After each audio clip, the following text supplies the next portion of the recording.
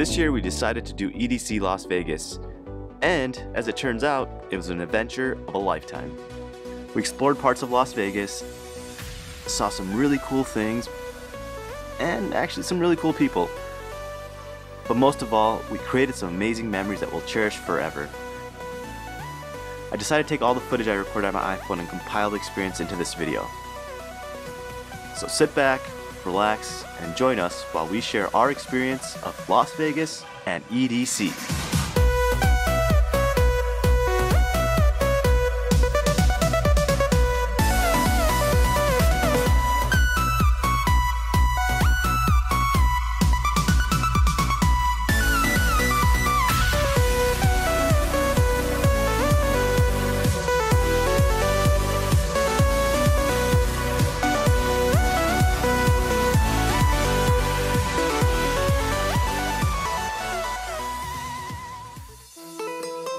Our journey begins at the start of an amazing view the Las Vegas Strip.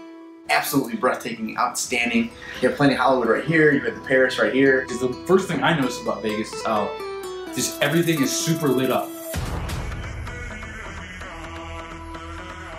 My mood just completely changed. It was like, I'm here with like everybody. You could see down the strip in both directions. You could hear the roar of the crowd. Right when we got there, our I don't know, minds were blown looking at everything that was around us. While in Vegas, we stayed at the Cosmopolitan. The Cosmo is an amazing five-star hotel right on the strip on Harmon Avenue. Cool street name, I know. The Cosmopolitan Hotel in Las Vegas is the nicest hotel I've ever been in, been stayed at, or been a part of. Pillars all over the place in the lobby.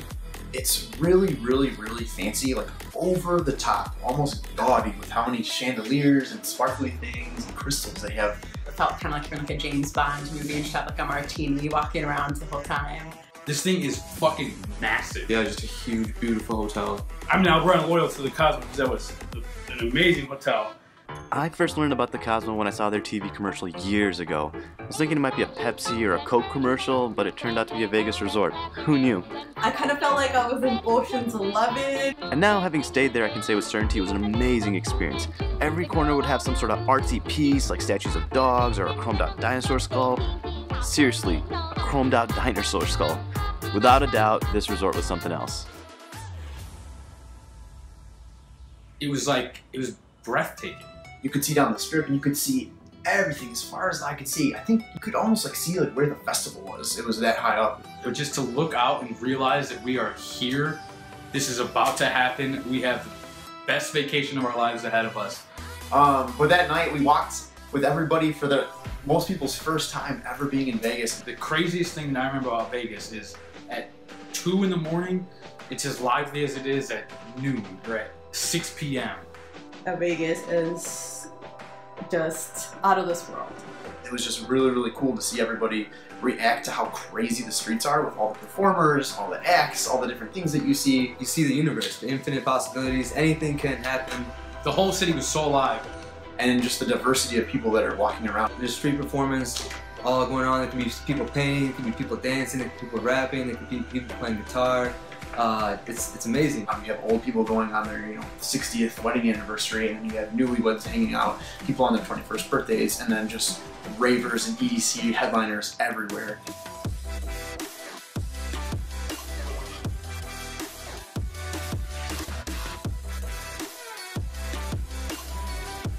They were like breakdancing, I think, but there's like a whole crowd that came around them. There was just so much energy there.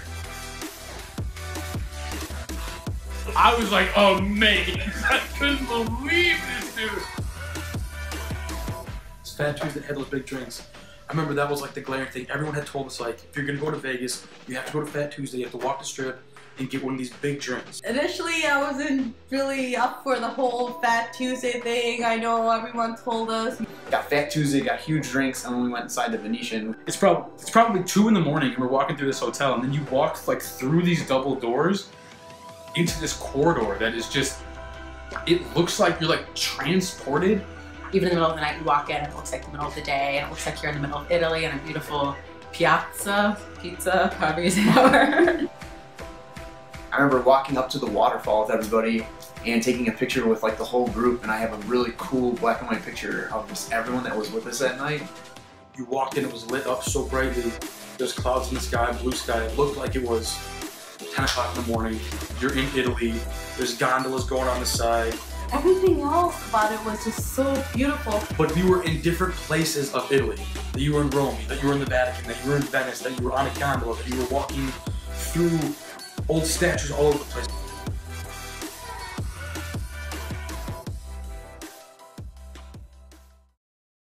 Vegas in one word. Ooh. Hmm.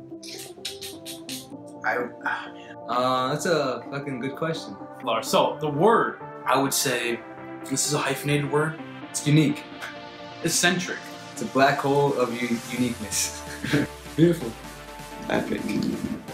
A playground. it's like adults in a playground. You can do anything you want. Perfectly unexplainable happiness. Lunas? It just was alive. Everywhere you went, no matter what time of day, there was always a bunch of people up doing stuff. It's for you to do everything you've ever desired ever. And there's, there's a way, and there's an avenue for you to do that. So it's a great place. The people and the crowd and everyone else. That's what made it Lunas. Vegas is just limitless. There are literally no limits on anything out there, whether it be poker, eating, drinking, and anything else in between. That concludes episode one of our after story. Join us in episode two as we enter EDC.